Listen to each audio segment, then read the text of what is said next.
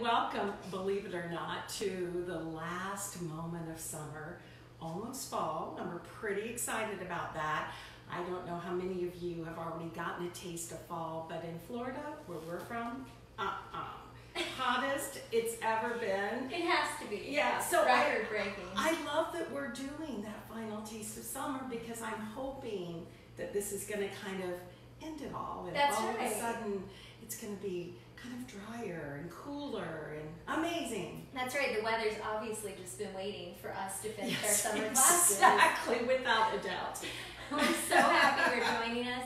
This is Pam Smith, my favorite chef. We hope that she becomes yours, if not already. Um, she's also my mom, which makes these classes extra special for me. I'm Nicole. We um, we are part of the PS Flavor Cooking Club. We started this as an opportunity to teach you um, some tips and tricks in the kitchen, how to flavor your food to get the most out of it, and really how to have delicious and nutritious meals, um, kind of stealth health. So, Yeah. And to take the mystery out of it. Again, the things we're going to do today are, are really quick, easy go tos that you can almost have in your back pocket. You'll discover very quickly that they are put together quite quickly, especially because a lot of it you can kind of get made up. We're going to be doing this amazing glaze that's going to go on top of the cod. Um, we're going to do this little pecan crumble. Both of those things I just keep in the refrigerator all the time because they're just perfect to be able to give you just what you need that little crunch, that little sweetness, that little counterbalance that we're always looking for in dishes, and of course, don't forget the flavor.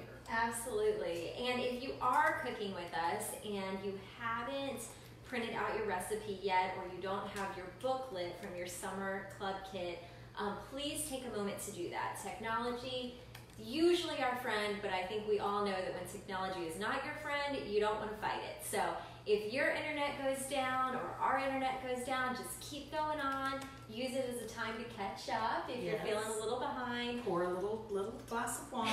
It's always a good thing. We're doing that. Yes. Yes. And the main goal is a no stress kitchen. So let's have a great time. We're going to cook, we're going to eat.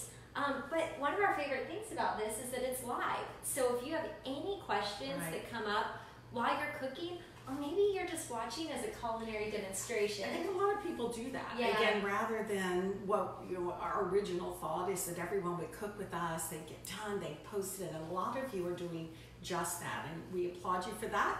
But if you're tuning in maybe for the first time, just to kind of get a sense of it, again, sit back, enjoy, learn. You can always go back and watch again. Absolutely. So after um, we finish this, we'll post it. You can go back. You can, you know, cook it again and again if you want to follow. It's really bringing a recipe to life. So we hope that's what it is for you. But we have a lot to do.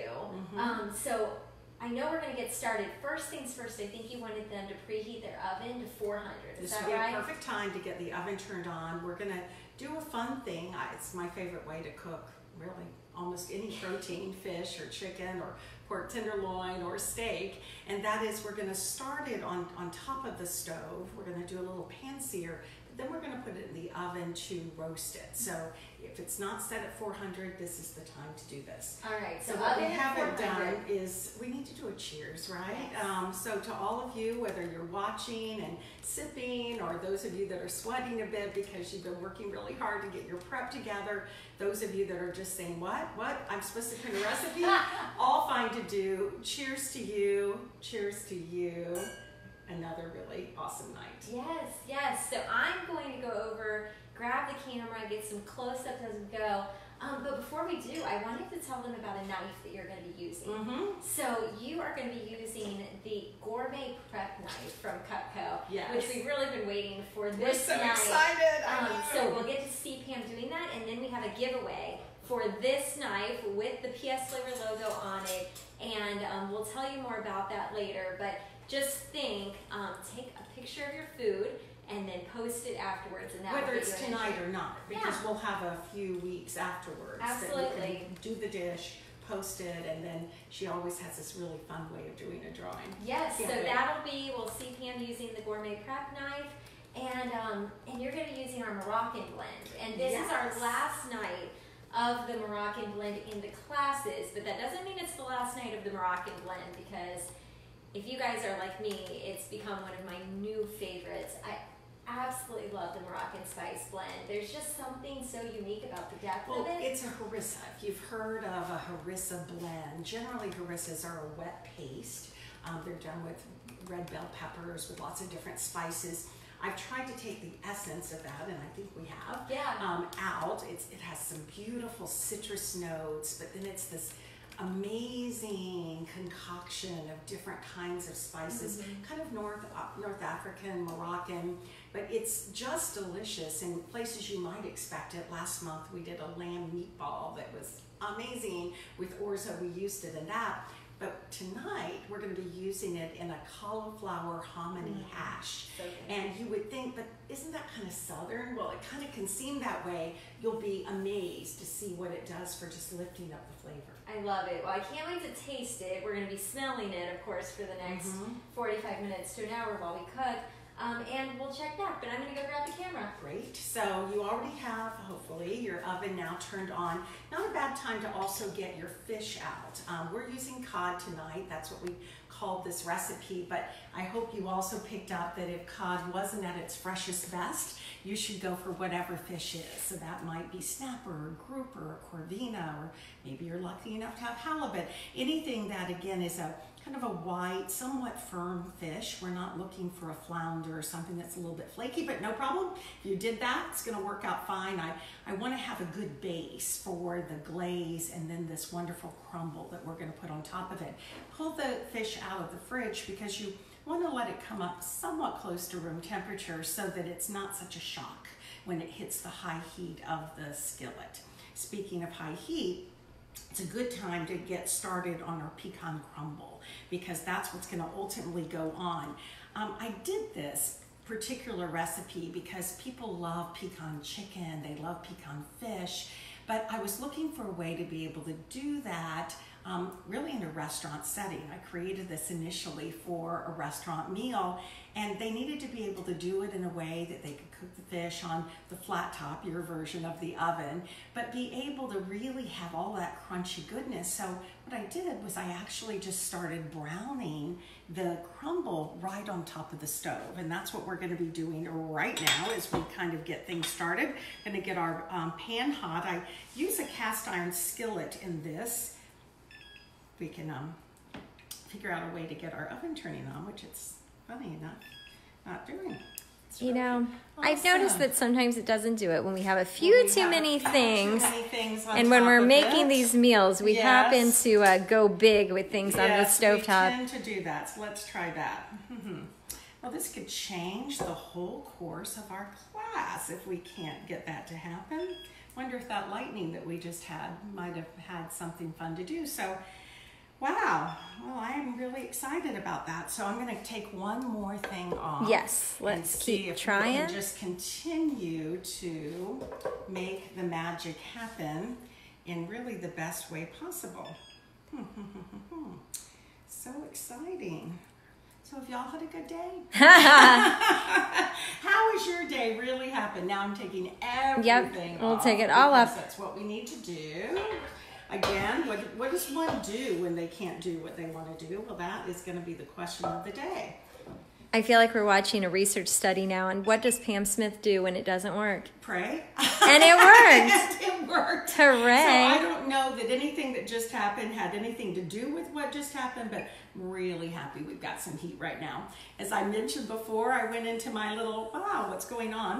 Um, I am using a cast iron skillet, but any skillet can do. This is not going to go in the oven, so it doesn't necessarily have to be oven proof, but I'll say that almost all of my skillets are because of that technique I mentioned earlier. I start things on the stove and then I put them into the oven. So I like to do that. I'm going to heat this up um, and then I'm going to add just a little touch of olive oil to this. Again, basically, I'm going to be browning my panko. Panko is a Japanese breadcrumb. Um, you may have bought Italian breadcrumbs through the years and have used them for doing a variety of things.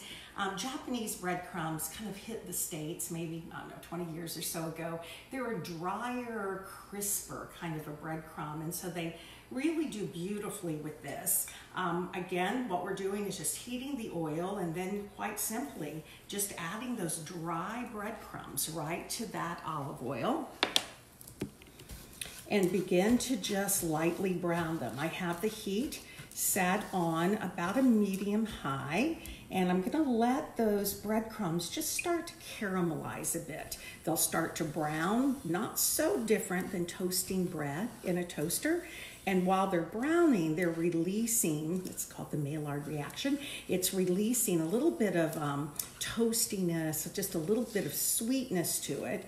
And again, this is something you don't really want to rush, even though feeling like I've spent a little bit of time trying to get the stove working, the tendency is to want to rush that through, but really can't do that because this is an essential part of it. Remember, I mentioned that this is something that you can make up in advance and have available. Um, again, doesn't need to be refrigerated. There's nothing in it that really requires that. It's just really a great thing to have. Sometimes I put some Parmesan cheese in it. It just gives a little more umami. With this one, we're gonna stick and make it pretty clear and simple. Just gonna be browning these and then we're going to be adding pecans and then a little bit of garlic and then in this particular one, Creole Kitchen. Creole Kitchen as you all know, those of you that have cooked with me, some of you for years at Epcot Food and Wine Festival, um, I use Creole Kitchen almost like salt and pepper. It has, though, something that salt and pepper doesn't have, and that is much less sodium than salt. Um, it has a little different kind of pepper, not just black pepper, but also has some cayenne, it has garlic, it has some onion, um, beautiful, beautiful blending, and its claim to fame is it has a little bit of smoked paprika in it. So you can see I'm lifting up the cast iron skillet now because it's browning and browning really nicely. And this is when I'm gonna add the chopped pecans. All that I've done with the pecans is very simply, either in a food processor or with this incredible knife that we have, I'm just gonna stir those right in and let the heat of the skillet now start to cook those pecans a little bit as well. It does just a little bit of toasting action. This is a good time to turn the heat down and go ahead and add your garlic to this as well. The garlic um, actually starts to cook right in. It releases its aromas. Um, just about 30 seconds is all you need with that. And then also it's time to add that Creole kitchen that I spoke about. Really beautiful kind of a crumb topping that we'll be using then on top of the glaze that we're putting atop of the cod itself. And once done, just pull it away and it is done. All deliciousness. So Jenna is our spice girl and Jenna is the one that's responsible for taking some of your questions. So again, as they come to mind, just go ahead and ask them. Um, again, this is induction cooking, and what's amazing about it is that once you're done, it's done. It completely has no heat at all. All that it does is pick up um, the electromagnetic activity of what you're cooking with. So I can put a glass bowl right on top of it, although that might have thrown us off a little bit earlier. And I'm gonna go right into making our glaze. Um, the glaze is um, beautiful. It has some sweetness. I use a all fruit, like a Polaner um, jam. All fruit meaning it has no added sugar to it. Um, I use an apricot, a peach is fine to do too. We're wanting to use those because they have a really beautiful neutral kind of taste. They're not adding so much of their own, just a really nice hint of some sweetness. To this, we're also going to be adding mustard, some nice Dijon mustard, or if you're into Creole, Creole mustard is delicious in here, just like the Creole kitchen is. And no surprise, I'm also going to add a little Creole kitchen to this as well. So now I'm doing kind of a layering of flavor. We're getting the Creole kitchen in the crumb topping. We're getting the Creole kitchen in this wonderful glaze and I'll be putting a little Creole kitchen on the cod as well right before it goes into the oven. Now, I have a question. Yes. I've seen recipes before that call for a Creole mustard. Mm-hmm. If if I don't have that in my refrigerator, but I just have mustard, could Mm-hmm. I add Creole Kitchen to it to make it a Creole mustard? Absolutely. The only thing that would be different, Creole mustard has a little um, larger grain. It's a it's a more of a whole grain mustard together with the Creole Kitchen. So again, if you have a, a large grain mustard, then add the Creole. It's almost exactly like a Creole mustard. Otherwise, just use a Dijon like we used here, which is a smooth mustard, but that Creole Kitchen gives it just that little extra punch Great. and deliciousness. So we're really all set to go with our cod. I'm not quite ready to do that cod yet though because it's going to cook really, really quickly, but this is the cod. And again, even when you buy um, cod or any kind of fish, people are always asking, how do you assure that you're getting the freshest of fresh? And honestly, there's there's three things that you employ. Um, one is sight, you see it, and it, it should have just a kind of a, a nice, um, not overly shiny looking look. That means that some of the oils are starting to break out. You should touch it, and it should, again, almost um, spring back to touch. Um, if you push down on it, it should spring right back. And you would say, but Pam, I, I can't ask the fish person behind the counter to let me touch the fish. Well, interestingly enough, they have gloves on. You, they may not want you to touch it, but you can ask them to touch it and see if it does the same thing. But the most important aspect is, is using your nose. The nose knows when it comes to fish, again, just getting that, that breathe in of the fish, it should smell of the sea, but it shouldn't smell fishy. If it smells fishy, something is indeed fishy. Fresh fish is not always fresh fish, it's not always fresh fish. Get to know your fishmonger, as they're called, that person behind the counter at your grocery store. They know what's come in. Look at them deep in the eyes and get to know them and know them well. Um, when we get ready to cook that, what we'll be doing is, as I said, putting just that little bit of Creole seasoning on. We'll sear it and then we'll top it with the beautiful toppings that we just made. Looks amazing. Well, I think it will be now that I have um, everything hidden. A little bit of a question right there of what we're doing. I think what we'll move right into doing now is into making our um, hash, which is the cauliflower hominy hash. And it's really, um, I don't know, a go to for me.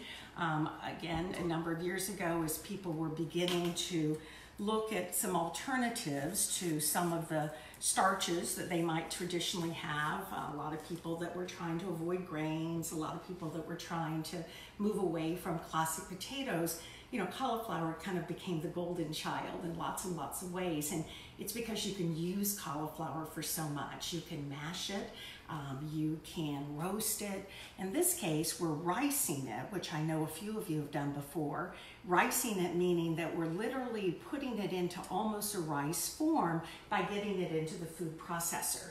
Um, so on your grocery list, we talked about getting a head of cauliflower and just breaking it into its florets. You don't need to do much of a chop, although you certainly can do a little bit of a rough chop with it. You're gonna let the food processor do its work. And that's what we're gonna do right now, is literally get it in play. Now, while you do that, I had someone ask me where they can get the um, Creole seasoning, the Creole kitchen, and the Moroccan spice. And we'll also be using Smoky Southern later. Mm-hmm. And all of those are available um, at psflavorclub.com mm-hmm. and Moroccan only until the end of the month. So we will then move on to our fall, which we can't wait to tell everybody uh, about. Should we go ahead and just break into it? I don't think so. I think we have to let's hold them in back. It's suspense. difficult because we're so excited about it. But again, I would say don't lament. We're pretty sure that we'll end up seeing Moroccan come back at another time because it's just too good. I know I'm going to keep making it for sure. Um, so again, we're getting our cauliflower in place. We're going to try to get our trusty food processor working for us the right way. All right. While you do that, I'm going to show what the um, the panko is looking like. because it's nice and loud.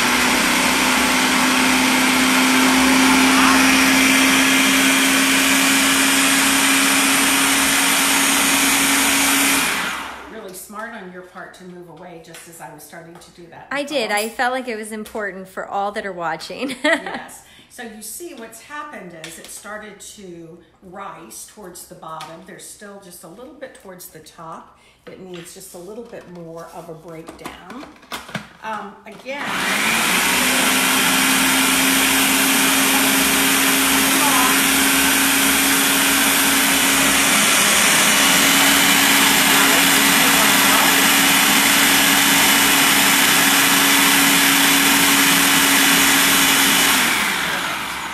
You can do this in a batches depending on how much you're making. That'll probably work just fine for us right now. We're gonna add that, um, actually I'm just gonna put it right on top of this dish. And then we're gonna use the same food processor to do the hominy. Now, if you've not ever looked at hominy, didn't even know such a thing as hominy existed, your world is getting ready to be changed. I'm absolutely in love with it. Um, hominy is an ingredient in, of, in pozole, which is a beautiful Mexican soup.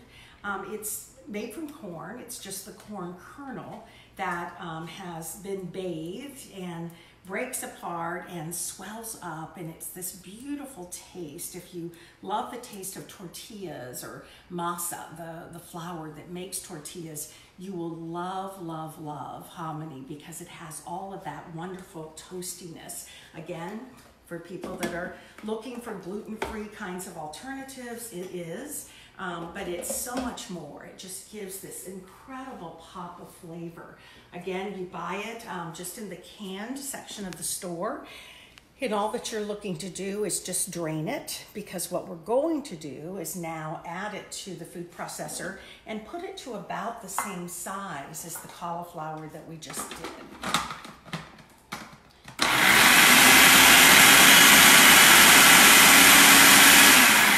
doesn't take nearly as long to do because it's pretty soft. Um, just to do that little bit of a whir that will again end up getting into the cauliflower. It really looks the same if you see it. It has that beautiful white color, although I will tell you I've also done the same dish using golden cauliflower and purple cauliflower and sometimes even a medley or romanesco if you've ever seen that. It's a um, type of cauliflower that looks like, um, I don't know, the dinosaurs ate it potentially. So again, we have that all ready to go. And all we're gonna do is just do a really quick kind of a hash. Now, it's not really a hash in the classic sense. You tend to think of potatoes in a hash, but we're gonna do a stir fry with it. Um, just get it nice and browned and toasty, and then we're going to be adding, um, and again, this is where the Moroccan's going in. Then we're going to add some feta, some herbs, absolutely fantastic. But in the short term, it's now time to get working on the fish because we are ready. While you uh, get that started, Andrew Matthews, who cooks with us, um, just put this idea out there that pozole might be a great fall recipe. Um, in which I know that you love that idea. We've already got our fall recipes in the works. So, Andrew, I'm going to put the challenge back at you that we want to see what you can do with some pozole and PS flavor. Ah, and if anyone can do it, Andrew. can. Andrew can definitely Andrew do it. can. I, Andrew, while we're talking, I loved your post about the octopus demo last year. It was quite funny and quite funny to even see the picture of it. okay, so I'm gonna let that start to heat before I add the olive oil to it. And then I'm going to use that little bit of Creole seasoning to season um, the cod or the flat, the um, grouper or the snapper, whichever fish you might have done. Now, I think it's really important to note that when you're using Creole, you're not looking to use it as a rub. No. Unless you're wanting a really full heat dish, um, it's really using it as your salt and pepper. It So, is. in the same way that you wouldn't probably rub your fish with salt and pepper, think of it that way on how much Creole you want to use. Yeah, you're doing literally a sprinkling of it the way you would sprinkle um, the fish or whatever you might have with salt and pepper. I heat the pan first and then I add the olive oil to it. I'm not heating the olive oil, I'm wanting to just get it in right before I add the fish. and I'm putting it um, the, the lovely side down, which is the side that I'm going to be serving um, face up, and and also the side that I put the Creole on. Okay, so you're only putting the Creole on one side of the fish. No, I'm not. Oh, now that she I've tricked me. in, then I'm going to sprinkle it on this side too. Why, you might ask? Why? because you want both sides of the fish to taste good, ah, right? yes. Not just one, although the other side is going to be quite magical because it's going to have this wonderful glaze and the wonderful um, crumble with it as well. We're going to let that cook for just about two minutes or so. Time to get just a little sip of wine. That was a cue for you to do the same thing. And I think we started to say what we were drinking, but I always give Pam's pairings with each of our recipes. And this particular recipe just seems so perfect to have with bubbles. I'm starting to notice I'm wanting to have every dish with bubbles. It seems to be a perfect pairing, but also beautiful with a Pinot Gris. And I specifically called out an Oregon, um, kind of Northwest um, Pinot Gris. Um, again, we know that the Northwest is beautiful for Pinot Noirs, also beautiful for Pinot Gris, which is the American um, varietal of what you would know as Pinot Grigio, but it just has such a beautiful, almost creamy kind of texture to it. Um, some really beautiful bright fruit.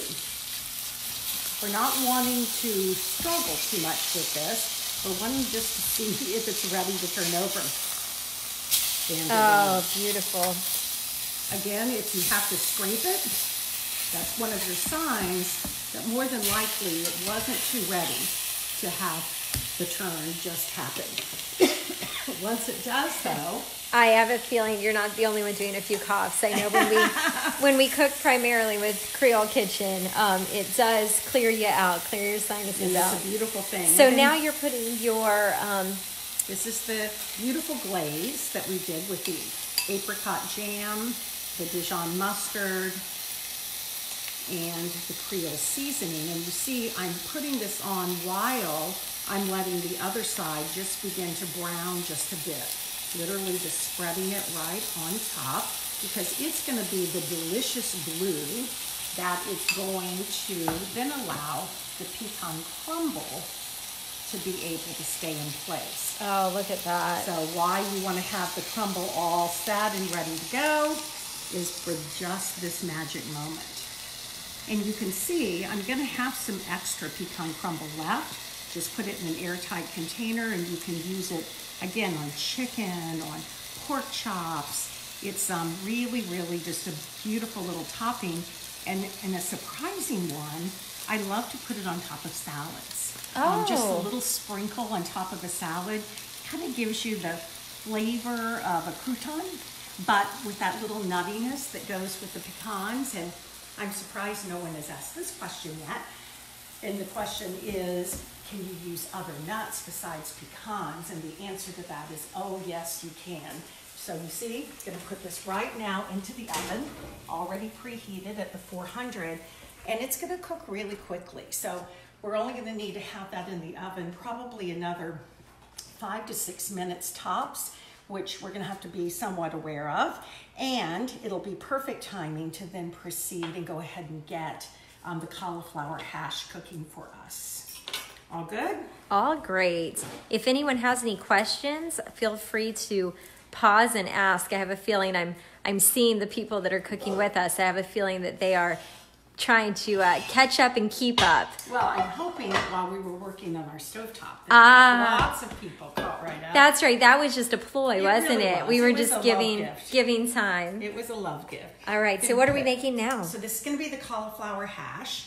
So we're putting just a little bit of that right into the pan. Um, and we're going to let, again, the pan heat. We're adding that little touch of olive oil. And then we're going to be using um, the cauliflower that we already riced together with the hominy that we riced to do a really beautiful stir fry. And that is just about ready to go. Great. We'll see the olive oil start to dance a bit.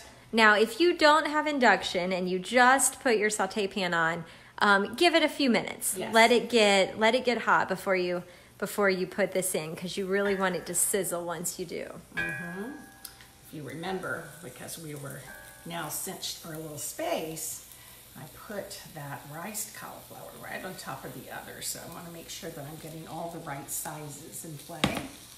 And also going to add that beautiful hominy right into it. If, again, this is your first time having hominy, I will tell you it's become my go-to, one of my favorite um, things to do for breakfast. I'll do hominy with some black beans and some of our Creole kitchen and oh my my, absolutely delicious. And this, however, is not going to be using Creole kitchen. This is what's using our wonderful Moroccan. Yes, sir. let that get going a little bit first. Literally just doing a nice little browning of it. Awesome. So we're browning before we put in the seasoning. Mm-hmm. Is that typically what you try to do is season last with things that you're cooking like this? Or how do we know?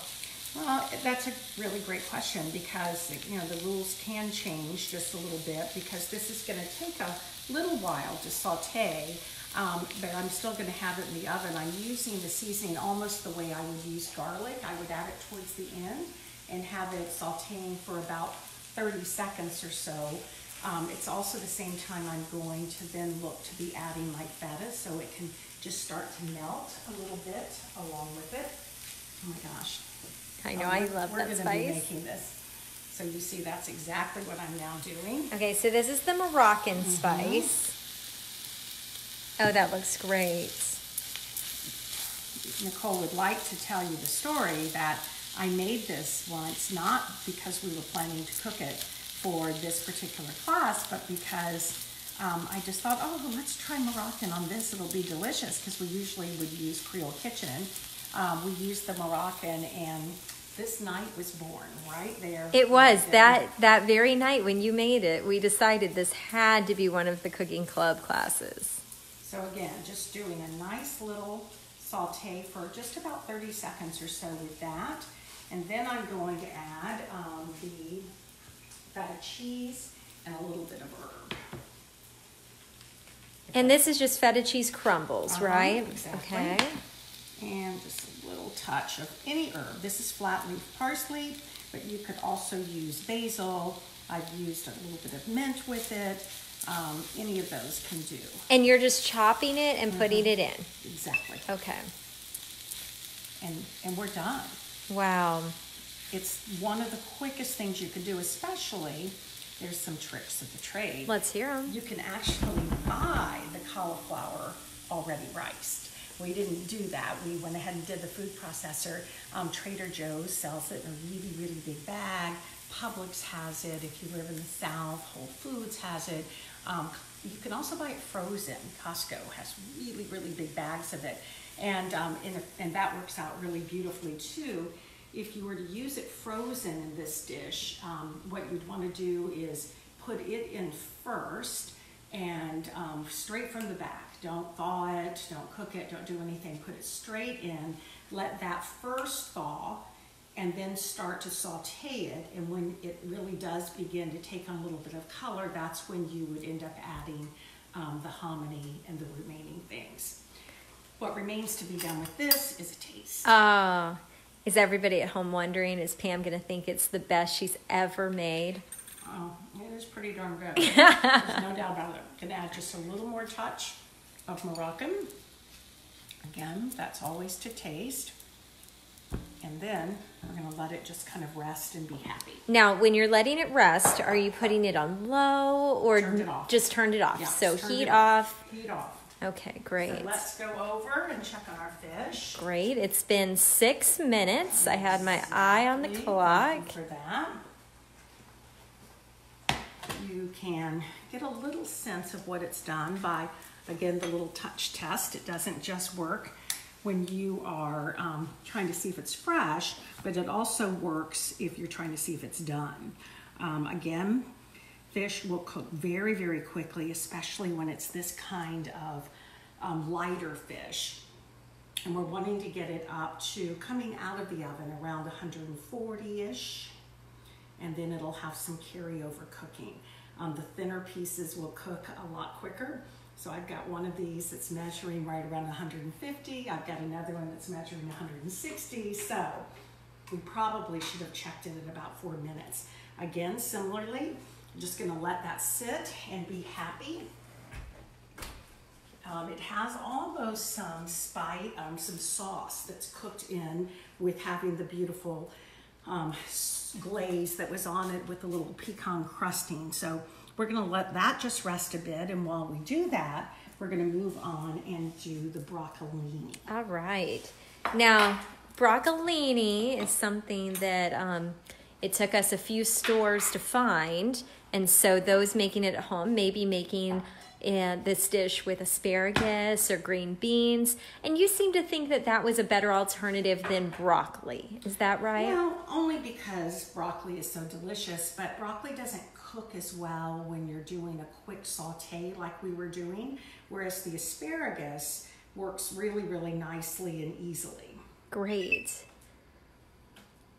So if you are if you are making with broccolini um, Mm-hmm. and you want to take a pause and, and raise your hand on the, the chat, you can let us know that you did find broccolini. We found it at um, Fresh Market, We did. so we did. not not too far. It wasn't at our normal local grocery store, but Fresh Market was But great. the normal local grocery store has it. It's just that they didn't have it on this Wednesday. Ah, Not a concern. Okay. Now you have already blanched the broccolini. Is that correct? I did, um, but I did a blanching with a difference. The classic blanching and almost all of my recipes that are going to go ahead and stir fry a green vegetable, I blanch it first. I dip it in boiling water um, just for a minute or so, just enough to kind of seal in the green. But a little shortcut that you can also do is you can just pop it in your microwave. That's asparagus, that's green beans, that's broccolini. Again, that steaming action of the microwave. I put just a little bit of water in the bottom. If it's asparagus, I don't sit it up like this. This was just too cute not to do. Um, instead, I just lay it out on a platter with just a little bit of water at the bottom that does its own kind of steaming. Just about two to three minutes with this amount is all that you need to do. Um, by the way, if you're not sure what broccolini is, it's a it's a kind of a cross between asparagus and broccoli. So again, you've got the longer kinds of of stems, which make it just absolutely perfect and beautiful for being able to do this very quick kind of saute. And that's just what we're going to do. Just get them right into the pan. so all you have at this point is olive oil and broccolini That's it. and a hot pan.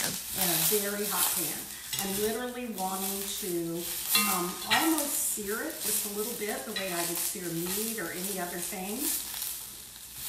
And you see, because it did have that little bit of blanching action, it's keeping that vivid green as compared to immediately hitting the pan and starting to turn kind of an unappetizing olive color. Um, it takes a little bit of time um, to be able to do. Again, the blanching not only is sealing in the color, it's also starting to soften the broccolini. So again, in this case, I would just let it just do its thing. I've got the, the heat on kind of a medium high heat and occasionally just get in there and kind of move it around. Um, you can also roast it, um, and that's a beautiful way to do broccolini or asparagus. Um, we do almost the same thing. Toss it with just a little bit of olive oil, and in this case, the seasoning, we're using a smoky southern seasoning. Um, toss it with that and then get it into a hot pan, one that you've heated in the oven those of you that have been cooking with us for months know that that's one of the things that I just am unwavering with. If you're going to roast vegetables, the best way to get the best of flavor is to heat your pan in the very hot oven, toss your vegetables with that little bit of olive oil and seasoning, and then add it um, right to that hot pan. You hear the same kind of sizzle that you heard with this. You heard the same kind of sizzle when I put the cod into the cast iron pan and works beautifully. So again, we're letting that happen. While we're letting that happen, I want to talk a little bit about the Smoky Southern because it's one of our favorites. Um, I was working with a restaurant um, company that um, really um, is all about celebrating Southern and Southern cuisine. But as you know, Southern cuisine oftentimes has a lot of bacon fat, a lot of, of ham uh, hock in it. So I was looking for a way to get that same smokiness, and I did that by using smoked paprika. Smoked paprika with a little bit of lemon, um, again, onion, and, and garlic. It just has such a great flavor, and it's beautiful to do. You notice this recipe is called Smoky Broccolini because it really does bring out just so much of those beautiful smoked flavors. Um, you want to check and see um, the tenderness factor of this because you're not wanting it to be mushy, but you're also not wanting it to be raw. Um, you do want to have that crisp, tender kind of action going on. Once you get it to a place that you're kind of ready to go, that's when you add the smoky southern. You're not wanting to back to that same question. Oh my gosh, the aromas of that hitting mm-hmm. the pan are really unbelievable as I start to cough again. yes, I do.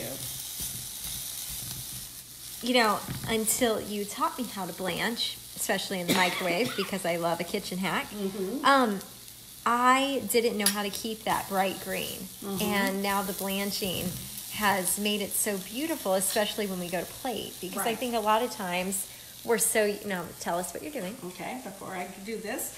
Um, so what's going to add just a little bit of added um, pop of flavor. I already have a little bit of lemon in the smoky southern, but I also want to add just a little bit of lemon zest. And again, those of you that are club members have this really fancy microplane. If you don't have a microplane, heartily recommend it because it's just one of those kitchen tools that are is just phenomenal. You see I'm just gliding it right on just the skin of the lemon itself, tapping it in. It gives that ability to just give this incredible pop of flavor. Then with my incredible knife, I'm cutting the lemon in half. I've already microwaved the lemon. Many of you know that that's another one of my tips Microwave the lemon for about 30 seconds. It's just enough to pop open those wonderful cells of the lemon and allows you to get much more moisture released into it. Okay, so you're using a whole lemon mm-hmm. that you have put in the microwave to get more juice and then cut in half. Exactly. Great. And now we add it right on top of it. It starts to make this wonderful, again, pop of citrus flavor. That smoky southern is almost charred into the broccolini. And we are ready to go. Happy? Very happy. Okay. So I think we should go ahead and think about plating, unless there's some questions in tow. And with plating this, you're really looking to just let it be, and that is let it be simple because this is really just in some ways delicious, simple food. This is the kind of meal you want to be serving your family. It's the kind of meal you want to be serving friends, but it's the kind of meal that can come together again relatively quickly, which is amazing. At least we feel that. Um, and then this is pretty much my classic plating. I put little mound of the hash, um, the cauliflower and hominy hash. And then I'm gonna take one of our beautiful pieces of cod and try to gently lift it up without breaking it and place it right on top of that beautiful little mound. Mm. And then take the broccolini that is beautifully cooking you see how it's got that nice kind of charring, but as you say, Nicole, it's kept that beautiful green color. And then we want to add, if you would like, um, just a few little tomatoes um, to give it just a little bit of color to this dish. Um, you could squeeze a little bit of lemon on the tomatoes too. Top it with just a little more of your smoky southern, or in this case, why not? How about topping it with a little bit of the Moroccan because we can. And then I might also think about just slicing another lemon um, because I already have lemon juice. You always want to garnish with something that you are using in the dish. And since I have used the lemon already in the broccolini, um, just a couple of rounds of that lemon can sometimes be all you need to just make a little added magic happening. Yeah, one of the things that I think we noticed when we were um, developing this dish for the class is the cauliflower hominy hash and the cod, despite the fact that their flavors are very different, their colors are very similar. And so I love what you're doing to bring out those pops of color around the hash and the cod. Then I put just a little touch of a flat leaf parsley that I've saved, and there we go. Wow. It's looking pretty fine, right? Absolutely. Looks delicious. If anybody has any questions, now is a great time. And I think I am going to show our amazing chef, and then I'm going to grab my wine and Yes, join you. do. Everyone always wants to know afterwards, well, who's eating the other cod? And what are you all doing with that? Well, as soon as we finish our time, we always have a little toast to you all and a little toast to what an incredible night we've had, and then we eat. It's what we're all supposed to do, right? It is. I can't Yeah. wait to eat it. Um, I wanted to just take a minute because we have a minute Mm-hmm. and talk about what's to come Yes. before uh, That, before that, we say that we goodbye. that we tease them with about. I know we did. We really Well, left them in suspense. Yes. Um, so we've been working and talking, and thinking, what do we do for the fall? Mhm. How do we make it extra special? You know, we started the cooking club in January, so we've really made it through these months, made some incredible meals, but we wanted to finish this year off strong with a really awesome fall. But we thought, what do we do to bring the flavor of fall? And you want to tell them? Well, what do you think about when you think of fall? Well, if, if you even live in the United States, you know that Starbucks starts really kind of mid August teasing us with the fact that pumpkin pie spice, pumpkin pie spice lattes are coming to a Starbucks near you. We've started to think of pumpkin pie spice, even though pumpkin pie spice doesn't have pumpkin in it we've started to think of that as almost being the heralding that fall is here and that fall is coming. Yes. So we Do you all feel do you get tired of pumpkin spice? Because uh, I know a few of the Spice Girls that work with us. They they love it, but they they kind of make fun of it. Yes. So we decided to uh, take it up a notch. to take it up a really big notch. And so we now say move over pumpkin pie spice. There's a new spice in town and that is chai.